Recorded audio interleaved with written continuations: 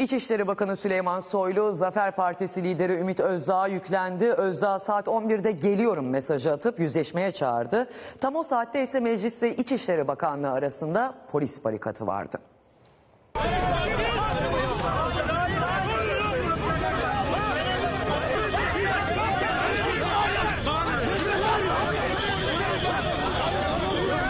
Ben bu adamı adam yerine ve insan yerine koymam. Ben geliyorum. Hadi kapının önüne çık. Esere safirindir.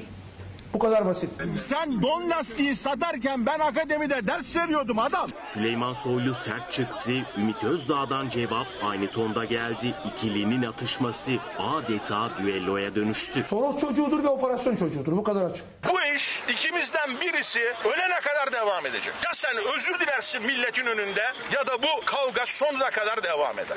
Suriyeli göçmenler polemiği günlerdir siyasetin bir numaralı gündemi. Ümit Özdağ mahkemelik olan Sessiz İstila filminin siparişini bizzat verdiğini açıklamıştı. İçişleri Bakanı katıldığı programda Zafer Partisi liderine tepki gösterdi. İstihbarat elemanı olduğu apaçık bellidir. Özdağ Soylu'ya tek başıma İçişleri Bakanlığı'na geliyorum yanıtı verdi ama meclis kapısında polisler bekliyordu. Ben İçişleri Bakanlığı'nın önüne gidiyorum arkadaşlar.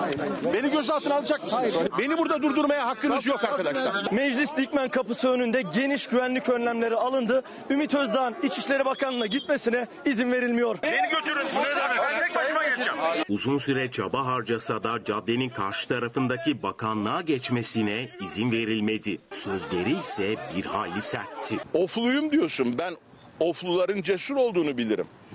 Ama sen oflu değilmişsin. Bu görevin bittiği zaman sen tutuklanacaksın kardeşim. Özdağ'ın açıklaması sonrasında basın mensuplarıyla polis arasında gerginlik yaşandı.